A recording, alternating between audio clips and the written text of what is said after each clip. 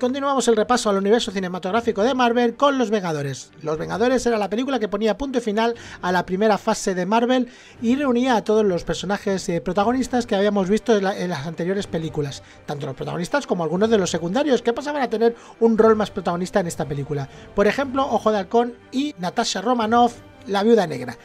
Y bueno, pues en esta película vemos como Loki llega a la Tierra para encabezar una, invasión por parte del ejército Chitauri, ¿no? Viene a través del Tesseracto y, y entra en la, base de S.H.I.E.L.D., donde consigue hacerse control con, del Tesseracto y de, y de un par de personas eh, con, su, con su cetro. Y básicamente en este cetro lo que, lo que hace es que control mental sobre Ojo de Halcón y algunos otros personajes, ¿no?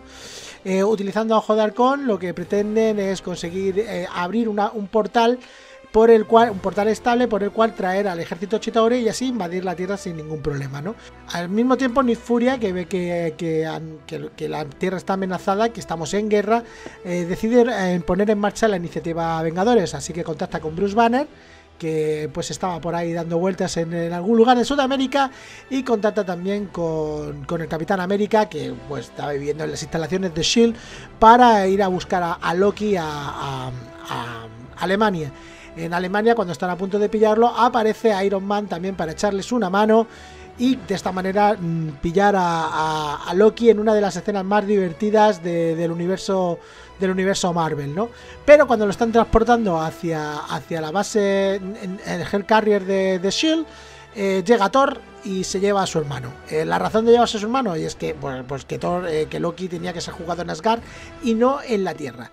¿Esto qué provoca? Pues provoca la primera pelea entre superhéroes del universo cinemático Marvel. En este caso, Capitán América y Iron Man contra Thor.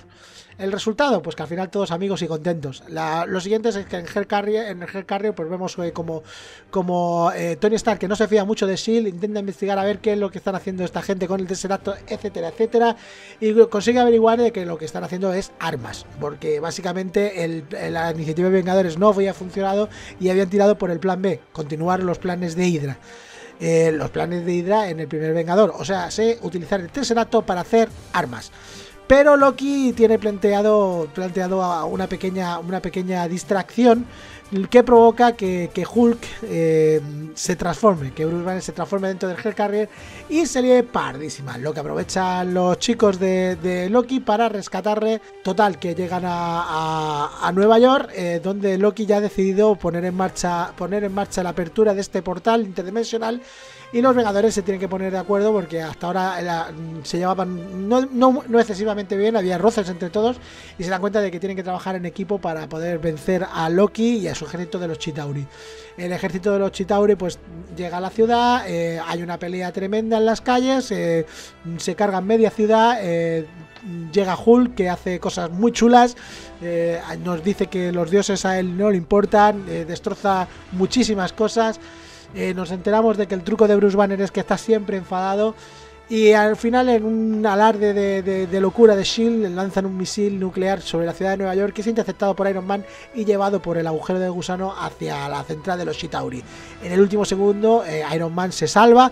Eh, y cae sobre la Tierra, salvando al mundo, salvando la situación y lo que es más importante, mm, descubriendo al mundo lo que son los shawarma, porque a partir de entonces pues todos se van a comer un shawarma. Y hasta aquí la primera película de Vengadores. Continuaremos con la fase 2 en breve.